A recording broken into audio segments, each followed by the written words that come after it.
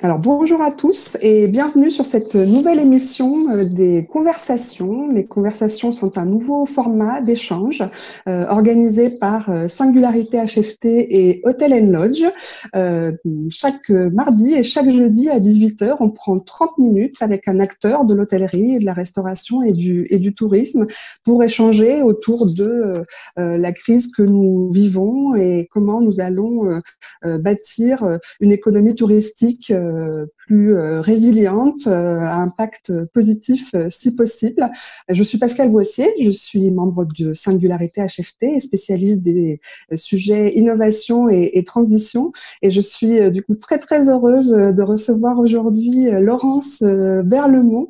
Laurence qui est fondatrice du cabinet d'agronomie provençale et fondatrice aussi d'un nouveau projet dont on va parler qui s'appelle Potager et compagnie. Merci beaucoup Laurence d'avoir accepté notre euh, invitation.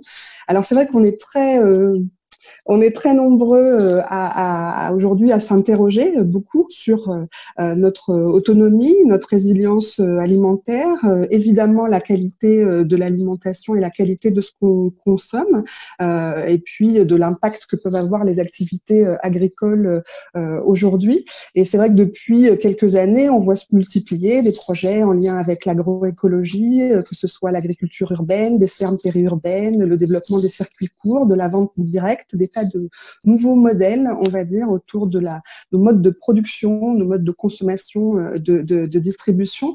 Et c'est vrai qu'on avait envie de s'interroger aujourd'hui sur euh, quelles pouvaient être les implications pour le secteur de l'hôtellerie et, de la restauration et comment, en fait, euh, l'hôtellerie et la restauration pouvaient devenir des contributeurs aussi actifs à la transition agricole. Donc, merci encore, Laurence, de nous aider à explorer ce sujet et pour commencer, euh, comment euh, comment allez-vous? Je crois que dans le dans le Var, euh, chez vous, et comment vous avez vécu les dernières semaines écoulées dans ce contexte si particulier qui est le nôtre?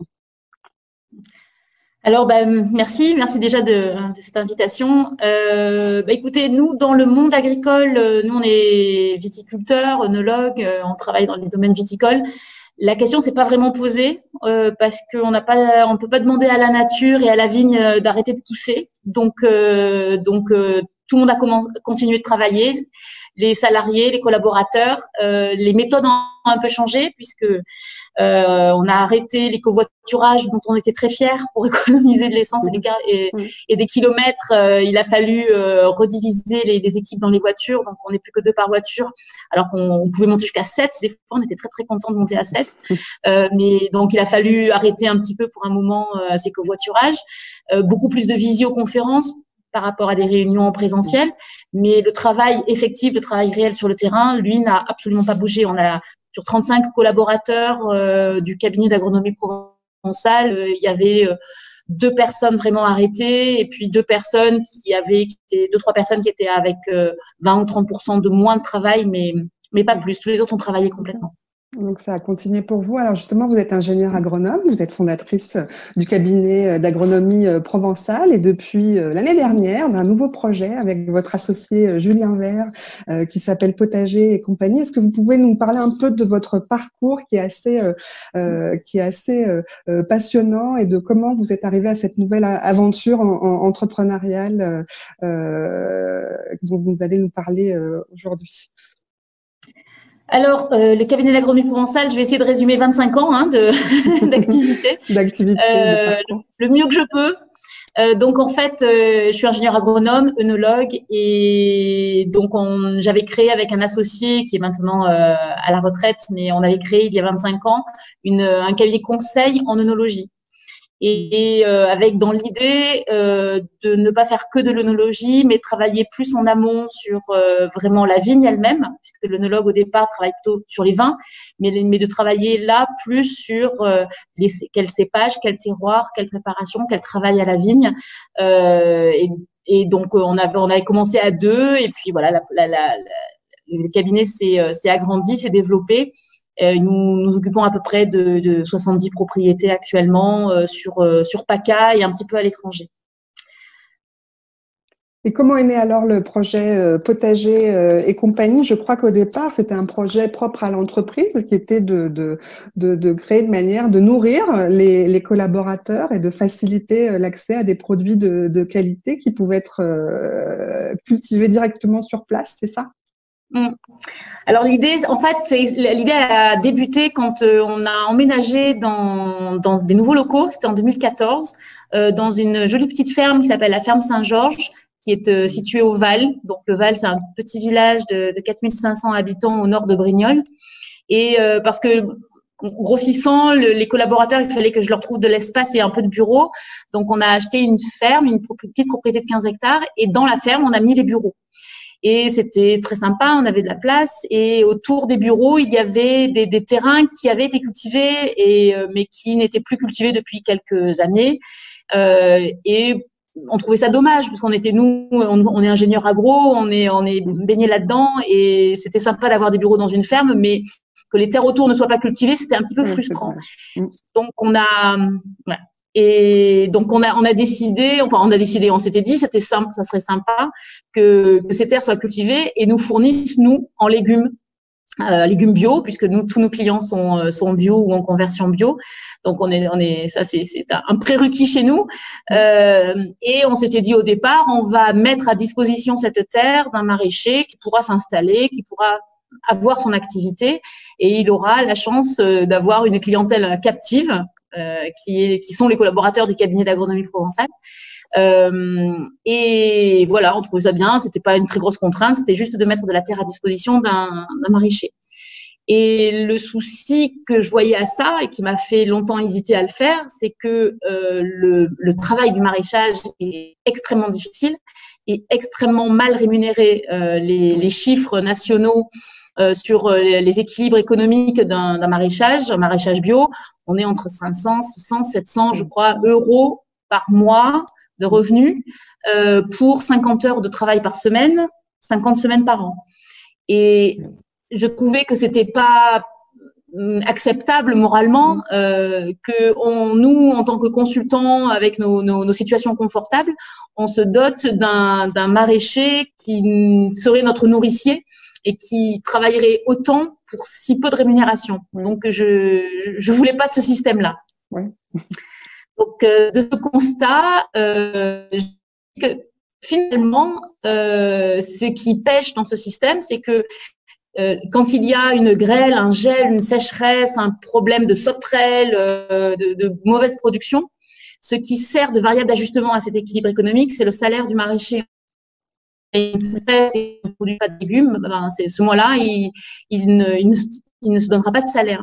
Et il n'est pas normal, euh, moral, que la sécheresse, euh, ce soit uniquement le maraîcher qui, le, qui, en, qui en assume les conséquences euh, mm. sur son salaire.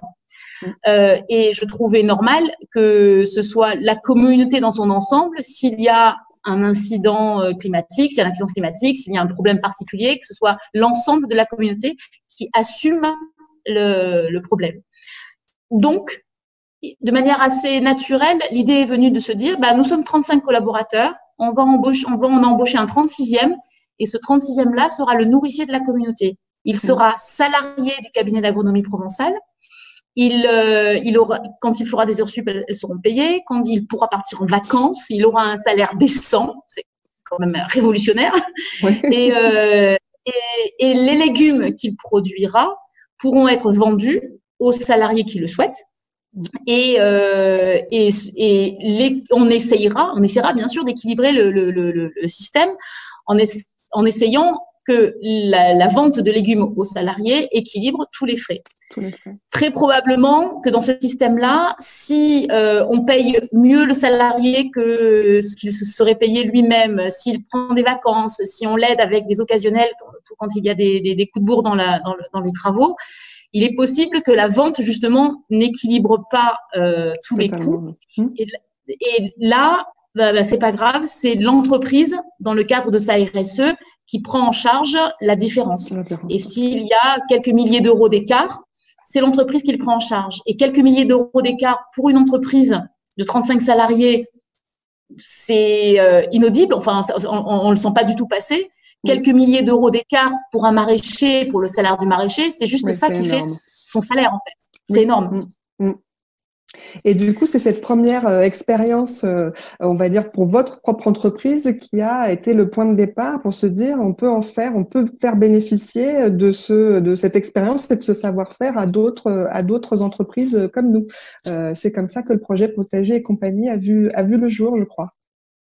Exactement. Donc on s'est dit, euh, en fait, j'ai fait ça pour moi et j'ai mhm. bien sûr parlé euh, petit à petit euh, à certains de mes amis chefs d'entreprise de mon concept. Et mes, mes amis chefs d'entreprise ne sont pas forcément dans le monde de l'agriculture ou de l'onologie. Il y en a qui sont dans la sidérurgie, il y en a qui sont dans le monde automobile. Enfin, aucun rapport. Et je, bon, j'ai toujours une petite image de Bobo Bio amusante pour eux, qui sont dans la vraie, dans, le, dans le vrai monde euh, du business. Et quand je leur ai présenté ce, ce, projet, je me suis dit, ils vont sourire, amuser, ils vont être euh, peut-être un peu condescendants et, et voilà, je, je, je, vais les faire rigoler. Et en fait, pas du tout. Quand je leur ai présenté le projet, euh, il y en a plein qui m'ont dit, mais je veux aussi mon potager pour mon entreprise. Et quand je leur ai expliqué que c'était un, un que c'était un peu militant et que c'était ce potager a priori il y avait peu de chances qu'il gagne, enfin il y avait aucune chance qu'il gagne de l'argent et peu de chances qu'il mmh. équilibre et que mmh. très probablement euh, il y aurait un, un trou de, dans, dans, dans, ce, dans le business, dans le business plan. Euh, ils m'ont dit mais euh, si tu savais mon budget saut à l'élastique euh, ou tour de karting pour faire de la RSE, moi euh, j'aime autant avoir un potager à la place. Et l'idée est venue comme ça, de me dire, ben, si ça fonctionne chez moi, si je peux montrer un joli potager et montrer euh, tous les chiffres euh, et comment on a pu faire fonctionner ce potager, alors je vais pouvoir euh, essaimer et proposer ces potagers à d'autres entreprises qui ne seraient pas du tout dans le monde agricole. Alors justement, euh, le, fait de, commencer à essaimer euh, euh ces, potagers, c'est aussi essaimer de nouvelles pratiques, parce que justement, pour sortir de l'imagerie du bobo bio, qui ne concernerait qu'une certaine partie de, d'entre nous, il y a des nouvelles pratiques, il y a derrière tout un mouvement autour de l'agroécologie. la ferme Saint-Georges est une ferme permacom, d'après ce que j'ai compris. Est-ce qu'on peut revenir sur justement ces notions d'agroécologie et de permaculture est-ce que tu peux nous dire, vous pouvez nous dire en, quelques quelques mots euh, ce que ce que c'est, ce que ça représente dans une autre manière de, de, de, produire et qui va aussi impliquer une autre manière de derrière aussi de, de, de consommer puisque tous ces écosystèmes fonctionnent en, en, ensemble. Euh, en quelques en mhm. quelques mots. Alors, en, en, quelques mots, je vais. C'est difficile. quelques grands principes parce que vous, je pense qu'il y a autant de, de, maraîchers en permaculture que de permaculture elle-même. Et euh, chacun a un peu sa, sa vision de, de, la chose. Mais il y a quand même un point commun. Alors, on parle de bio hein, en général. Enfin, ça, ça c'est peu contesté. On parle de, de, culture biologique déjà. Donc, pas de produits euh, systémiques ou qui seraient euh, réputés euh, euh, dangereux pour, pour la santé. Euh, donc ça, c'est un des, un des, premiers principes de base. Le, le deuxième principe qui est important, c'est qu'on ne considère plus le végétal euh, comme euh, une machine à produire, disons, un légume sans travailler sur son contexte et son environnement, mais on mmh. travaille sur tout l'environnement. Euh, donc, euh, on ne, on n'essaye pas de, de, de, de, soigner une plante, on fait en sorte que son environnement soit d'assez bonne qualité pour qu'on n'ait pas besoin de la soigner. Ça, c'est un des premiers, euh, un des premiers aspects.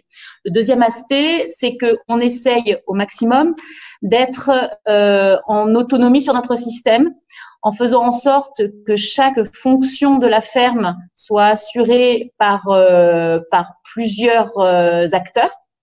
Par exemple, je prends un exemple très très basique, très simple. Euh, pour fertiliser euh, les légumes, on va avoir euh, des, les fientes des poules parce que vous avez des poules et, euh, et le fumier du cheval parce que vous auriez un cheval, par exemple.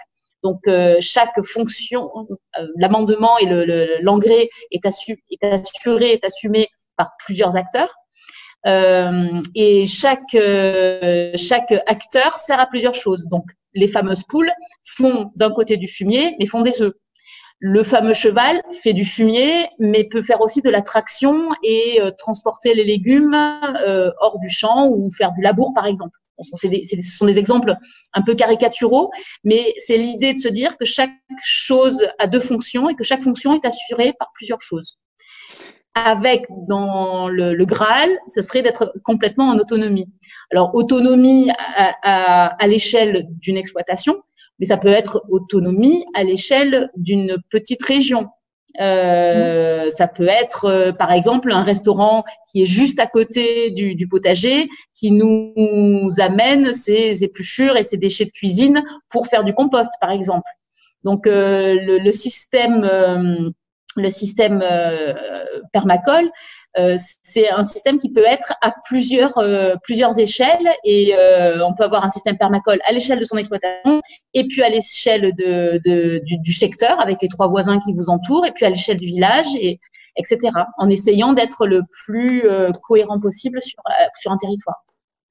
C'est vrai que ces modèles, euh, ces modèles se, se développent hein, et que euh, même s'il n'est pas évident de passer d'une agriculture euh, extensive avec une culture de la monoculture justement, avec une vision aussi de la de la de, de, de la production de volume et, et, et qui est qui a été extrêmement, on va dire, destructrice pour les écosystèmes qui les accueillaient. Donc, on est dans cette volonté de, de, de régénérer aussi nos, nos, nos écosystèmes et notre environnement grâce à ces nouvelles manières de, cultiver.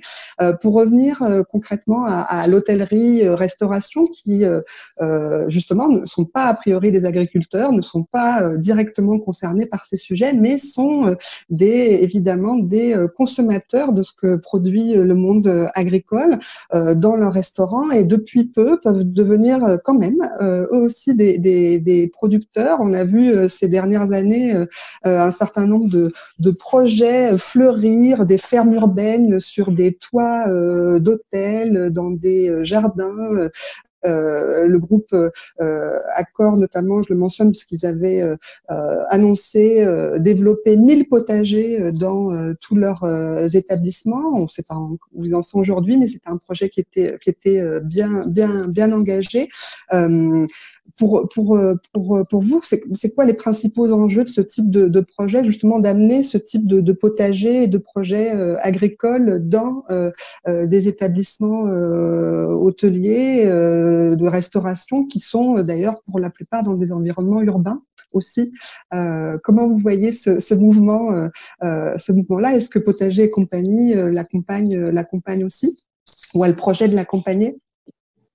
On a, le projet de l'accompagner. On a, n'est pas très loin d'un restaurant. Euh, donc le cabinet d'agronomie Prensal et la ferme dans laquelle on est installé, pas très loin d'un restaurant euh, qui était intéressé par notre par notre démarche. Et je pense que pour l'année prochaine, on va euh, développer un partenariat avec lui pour que euh, il ait un peu une action sur ce que l'on produit euh, et qu'il ne soit pas euh, uniquement un acheteur euh, dans un rayon et qui décide de, de, de, choisir la barquette de gauche ou la barquette de droite, mais euh, quelqu'un qui va être capable de nous dire moi j'aimerais telle variété euh, de courges parce que je peux faire tel tel tel plat avec ça, tel j'ai une recette magnifique mais je ne trouve pas cette matière première là. Euh, on a actuellement dans les tuyaux pour 2021 des, des partenariats de ce type. C'est, c'est, ça fait complètement sens. Hein. C'est, euh, c'est, c'est, on, on, sent, on sent le courant qui va vers là. Après, on, on, évoque beaucoup les questions euh, d'approvisionnement et de voilà, on a une, manière de pouvoir sourcer euh, euh, la matière première qu'on va utiliser dans, dans, dans, dans, dans ces cuisines, soit directement sur place, soit de la manière la plus proche possible. Mais pour revenir sur les sujets de modèle économique, il y a aussi le fait de pouvoir développer une activité qui pourrait générer des revenus supplémentaires.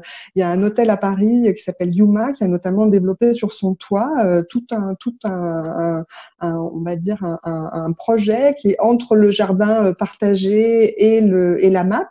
Euh, qui permet aux habitants du quartier, aux gens qui le souhaitent, de disposer d'une parcelle sur le toit de l'hôtel et contre un abonnement d'une dizaine d'euros par mois, de pouvoir bénéficier de des produits de la de la récolte sur leur parcelle. ça s'accompagne aussi d'un certain nombre de services et activités, euh, de, des ateliers cuisine, euh, des, des, euh, des actions de sensibilisation, etc. Donc il y a, il y a un modèle économique derrière ce type de, de, de, de projet. Comment, comment vous, vous voyez cette question justement de l'économie, vous l'avez un peu évoqué, derrière tout ça, et sur quel type de modèle vous, vous travaillez aujourd'hui chez, chez Potager et compagnie? Alors, il y a, y, a, y a, un, point sur lequel euh, je peux rebondir justement sur, euh, sur les, jardins partagés, les AMAP, etc. Euh, je pense très sincèrement euh, qu'il faut euh, remettre le maraîcher au cœur du système en, en faisant bien comprendre aux gens que un potager on ne s'improvise pas maraîcher. C'est un vrai métier, c'est un métier technique qui nécessite beaucoup de compétences. Et ce genre de système d'AMAP, etc., euh, ou de, de, jardin partagé, fonctionne en général s'il y a un coordinateur, s'il y a quelqu'un qui, qui gère, qui coordonne, qui apprend, qui montre. Euh, souvent, euh, on voit des projets qui, qui, qui ne fonctionnent plus. Euh, parce que ben, le jardin partagé, s'il n'y a pas quelqu'un qui le coordonne et qui le tient en main, ça, ça s'étiole et ça finit par ne, ne plus fonctionner. Euh, quelque chose qui est extrêmement intéressant, c'est que quand j'ai lancé le projet Potager et compagnie, euh, j'ai lancé des annonces pour avoir pour pour trouver des maraîchers pour pour gérer les, les, les deux, deux, premiers euh, potagers que que je voulais créer. Et nous n'avons eu mais strictement que des bacs plus 5 qui ont répondu à cette annonce. Euh, des ingénieurs agro ok pourquoi pas euh, mais des centraliens des polytechniciens et des anciens qui avaient fait des écoles de commerce donc euh, c'était un, mouvement euh, complètement euh, surprenant. Alors j'insiste toujours là-dessus, pas que ce soit un critère de qualité, hein, d'avoir un bac plus de 5, dans, dans le maraîchage plutôt moins d'ailleurs. ils n'ont pas forcément l'expérience nécessaire, mais c'était c'était vraiment intéressant parce que ça répondait à une quête de sens vraiment vraiment intéressante. Et je pense très sincèrement qu'il faut bien faire comprendre que le maraîchage, euh, c'est un métier euh, terriblement technique, en fait, qui demande une, des compétences très larges et, et que il faut commencer par le, le, le, le cheminement intellectuel par, euh, par la compétence et la formation des maraîchers qui travaillent sur le, sur le site. Mais il y a aussi une forme de, de, de aussi de transmission des savoirs qui peut qui peut s'opérer parce que effectivement on est euh, mm. on est dans un monde où les notamment les citadins ont été coupés beaucoup euh, de mm. justement de cette de cette de, de cette terre qui les qui les euh, qui les nourrit. Euh, donc c'est aussi important de pouvoir retrouver quand même le, notre notre connaissance sur ces sujets-là, même si effectivement c'est aussi un, un métier. Euh, les, les, les États-Unis qui sont mm sur certains aspects plus avancés que nous euh, sur ces sur ces sujets-là, on a inventé le terme de community farmer. Donc on est vraiment de, le, mhm. vraiment le maraîcher de la communauté, le fermier de la de la de la de la communauté. Euh, justement, euh, parlez-nous un peu des projets que vous avez euh, dans dans dans les tuyaux. Euh, quelles quelles quelles sont là les les les, les nouvelles aventures sur lesquelles vous vous, vous travaillez en ce moment? Euh, donc, alors les deux premiers potagers, donc le premier c'était le mien, donc ça c'est un peu facile. Euh, mhm. c'était dans le pour le cabinet d'agronomie, c'était c'est le potager qui va nous permettre d'aller un petit peu plus loin, de faire de la recherche et qui va nous servir aussi de terrain de jeu pour les formations que que l'on va que l'on va proposer. Euh, le deuxième potager euh, euh, que l'on a créé, c'est un, potager pour une entreprise qui s'appelle Soleil du Sud, qui travaille dans les dans les énergies renouvelables, qui fait des panneaux photovoltaïques à Roquebaron, dans le centre Var. Et là, pour le moment, j'ai des demandes de plusieurs entreprises. Alors, aucune n'a encore décidé et, euh, et validé le, le pas. Il y allait.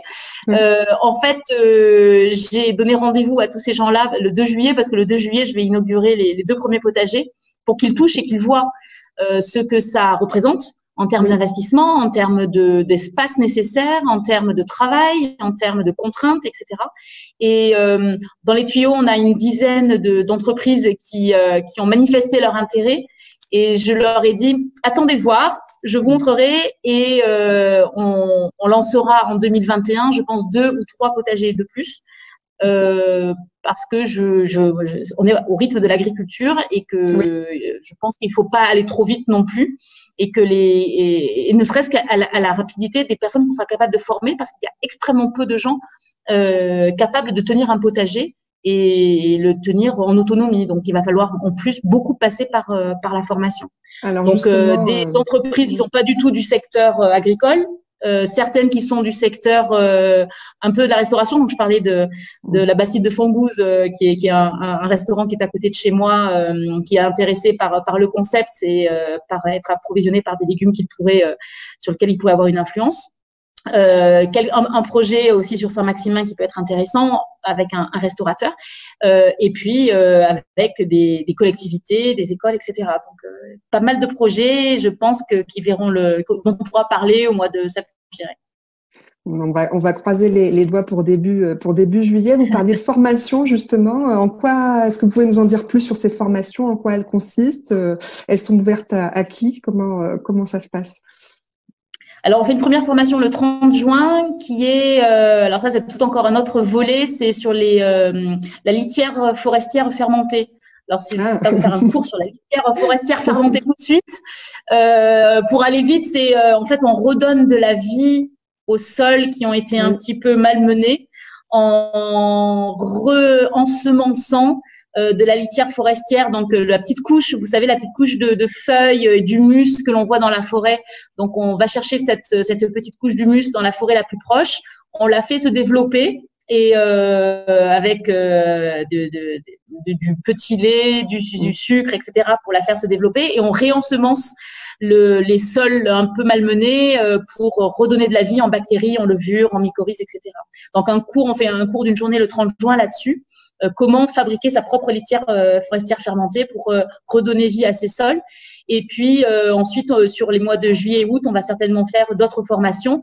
Alors peut-être aussi des formations sur l'apiculture, puisque nous, on est, on est assez bien euh, outillés. On a une miellerie déjà, on, est, on travaille déjà sur l'apiculture. Donc, comment gérer, comment gérer un, un rucher, euh, comment aussi gérer un poulailler. Euh, ça, les, les, les œufs, c'est quelque chose de, pour lequel on a il y a une demande immense. Importante. Donc, euh, comment gérer correctement un poulailler dès qu'on a plus de deux poules? Bon, c'est savoir ce qui, ce qui est important de, de, faire pour, euh, pour le gérer. Et puis ensuite, à partir de l'automne, je pense des, des formations plus complètes d'une semaine euh, sur euh, j'ai envie de m'installer sur une, une, une, petite ferme, de quoi j'ai besoin, quelles sont les premières étapes pour, pour m'installer. Oui.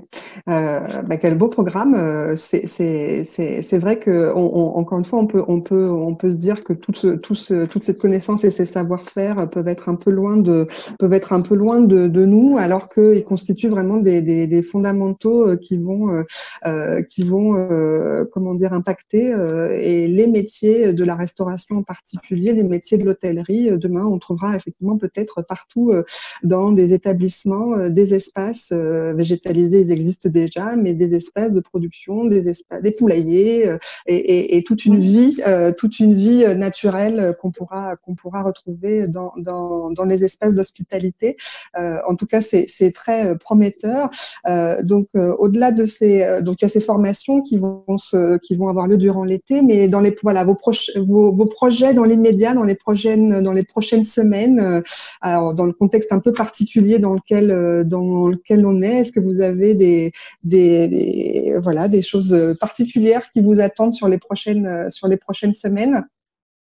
Bah, les premiers paniers qui vont sortir. On a, on a fait notre première production la semaine dernière de radis. On est très très fiers. C'était les petites, les premières productions de radis et de basilic. Et mais on va vraiment sortir les premiers paniers, je pense, euh, deuxième semaine de juin euh, où vraiment là, donc du coup, les, les salariés des entreprises pourront euh, acheter des paniers et, euh, et, donc on aura un système de paniers.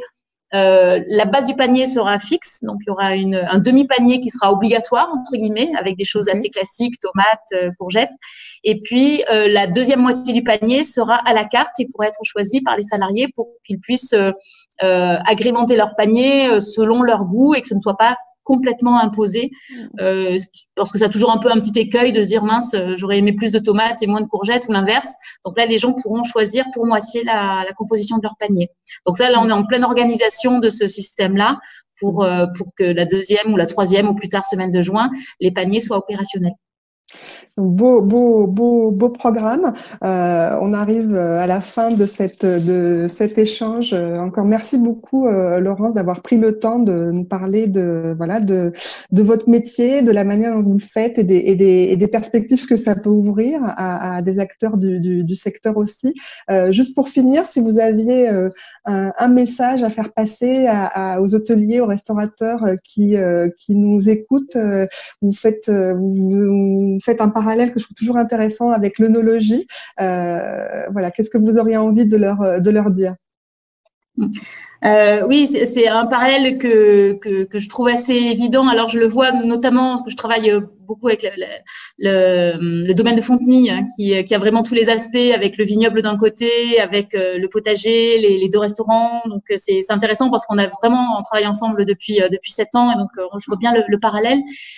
Euh, la, l'œnologie, en fait, euh, dans les années 60-70, euh, on considérait les œnologues comme des chimistes parce qu'ils s'occupaient de régler les problèmes des mauvais vins. Donc, il y avait un vin qui avait un problème et l'œnologue était là pour régler le problème du mauvais vin. Et petit à petit, à partir des années 70, 80, 90, donc euh, avec euh, ma génération un petit peu avant aussi, euh, les, les, les œnologues sont remontés dans la filière vers l'amont mmh. en travaillant sur les raisins et en travaillant sur l'implantation des vignes avec comme idée derrière que euh, pour faire du bon vin, il faut d'abord des, des, bons raisins.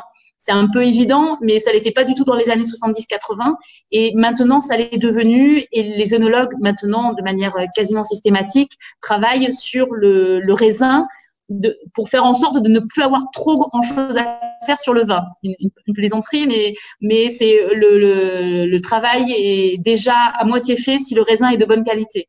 Et je trouve que dans la restauration, on voit bien le lien euh, qui est le même et le cheminement qui est le même, qui consiste à dire que la cuisine ne commence pas quand les légumes arrivent euh, dans la cuisine. La, la, bonne cuisine commence euh, sur la qualité de la matière première, et ça, je pense que tous les chefs euh, pourront le confirmer. Et l'idée serait que les chefs influent sur cette matière première et puissent avoir une action sur sur les légumes. Donc, un potager proche, alors qui appartient au restaurant dans l'idéal, mais ne serait-ce qu'un partenariat, une association ou des liens entre une cuisine, un chef et un potager qui serait dans son environnement proche, euh, ça serait complètement logique et, euh, et pertinent, je pense. Merci. Revenons, revenons à la source. Donc, euh, merci beaucoup, euh, Laurence, pour, euh, pour, pour cet échange. Et merci à tous d'avoir participé à cette nouvelle conversation. Alors, on, on se retrouve ce jeudi 21 mai, même heure, même endroit, à 18h sur les chaînes d'Hôtel et Loge. Je vous remercie encore de nous donner l'opportunité de pouvoir avoir ces échanges très, très enrichissants. donc, le, la prochaine conversation, on parlera recrutement et Laurence Faye de Singularité HFT aura le plaisir d'échanger avec Valérie Biche, euh, qui est fondatrice du cabinet d'Executive Search euh, Tovalea. Donc voilà, on se donne rendez-vous jeudi. Merci Laurence, merci à tous et d'ici là, continuez à, à prendre soin de vous. À bientôt. Au revoir.